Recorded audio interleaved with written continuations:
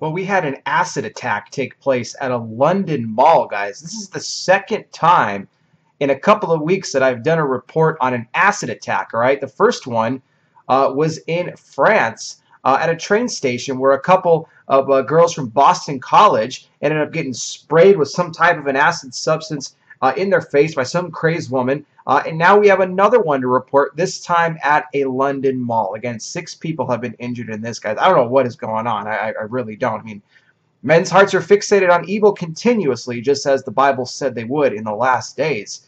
Well, a group of men, the report is saying, uh, have sprayed some type of, a, of an acid substance at shoppers in London on Saturday night.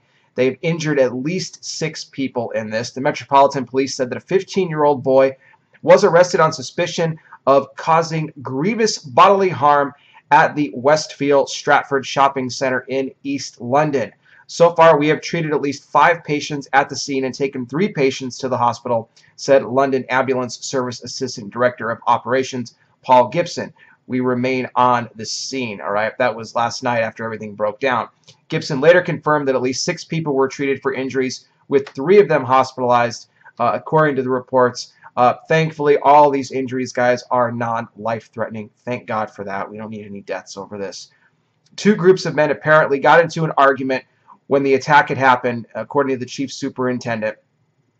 Apparently, what happens, a witness said that he saw one of the men screaming uh, while all of his friends had shouted, It is an acid attack. His skin is burning. They repeatedly shouted that out. Well, a man uh, who gave his name as as Hossein, okay, an assistant um, an assistant manager there uh, at the Burger King, said that he saw a victim and his friend, a local homeless man, ended up running into the restaurant's bathroom to wash the acid out of his face. There were also cuts around his eyes, and he was trying to chuck water into them, the man said. It is unclear uh, at this time, they're saying if the incident was terror related. So, I mean, you never know with these situations, um, guys. It, it could very well be a terrorist situation. It could. It could very well. Um, but you know what? Like I was saying earlier, you know, men's hearts fixated on evil continuously. These types of attacks are just, they're unacceptable. They shouldn't happen, but yet they do. We live in a fallen world.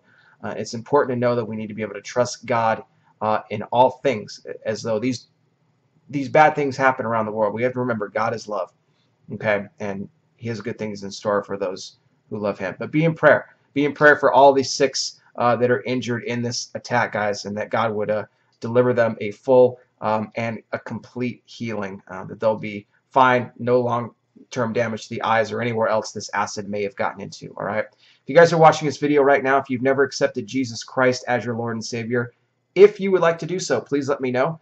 Leave me a comment below. Let me know you would like to receive Christ as your Lord and Savior. You could be born again, forgiven of all of your sins. You could come into the kingdom of God today where you will have everlasting life and a home in heaven for eternity. I promise you it'll be the greatest decision you ever will make. Or if you prefer, you can email me directly, cardsfan480 at gmail.com. I will put my email below. You guys can get a hold of me there. All right, guys? I'll continue here to keep you up to speed on all the latest breaking news, prophecy headlines, and current world events. I'll be back with more. You guys take care. Please be safe out there. Don't forget to share these videos with your friends and family. God bless each and every single one of you, and I'll talk with you soon.